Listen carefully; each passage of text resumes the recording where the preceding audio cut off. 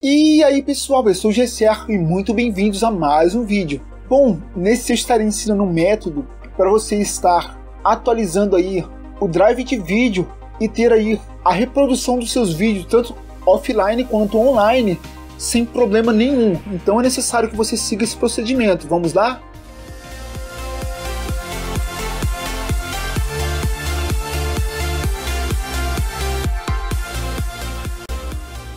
Bom pessoal, antes de prosseguir, me ajude deixando um like, caso você não seja inscrito, inscreva-se e marque o sininho para receber todas as notificações assim que eu soltar um vídeo aqui no canal.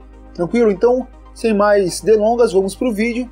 Eu ensinei num vídeo anterior a como está atualizando aí passo a passo o drive de rede.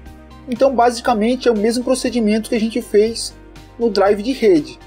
Primeira coisa a ser feita aí é você estar pressionando o botão do Windows mais a letra X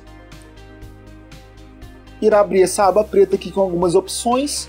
Você vem em gerenciador de dispositivos ou gerenciador de dispositivo. A janela que irá abrir em seguida será é, mostrado aí a, a, lista de drives que faz funcionar o seu sistema, tá? que faz funcionar o seu computador de forma completa em todas as partições aí existentes nele. Bom pessoal, então abrindo aqui essa página com a lista de drives, você irá pressionar aí a segunda opção, vai estar selecionando o drive que você tem aí, clicar com o botão direito e escolher a opção atualizar drive. Bem simples.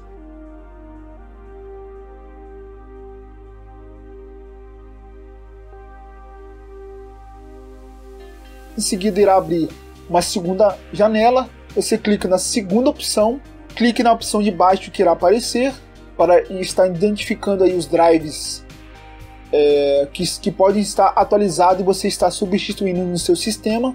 Bom, logicamente você irá escolher o drive aí mais recente, caso tenha data de, de atualização ou de disponibilidade de atualização, mas caso não tenha, você escolha qualquer uma das opções disponíveis, selecione e clique em avançar, beleza? Espere em seguida que o drive seja instalado, no caso o drive atualizado,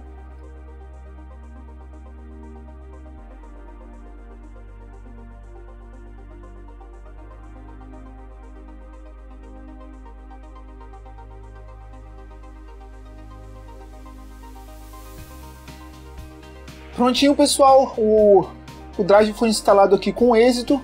Bom, pessoal, uma dica que eu dou, uma sugestão é sempre você, duas vezes no mês, estar instalando, é, ou melhor, atualizando esses drives para que seu sistema funcione sem problema nenhum, sem nenhum travamento ou algum outro tipo de problema que venha é, comprometer a funcionalidade e a execução desses drives aí no seu computador, beleza?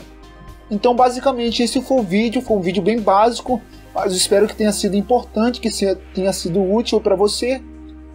Tranquilo? Então é isso, eu espero ter ajudado aí, como eu disse. Não se esqueça de se inscrever no canal, curtir e compartilhar o vídeo para nos ajudar na divulgação. Qualquer dúvida você pode estar deixando aqui abaixo nos comentários. Até o próximo vídeo, então, valeu!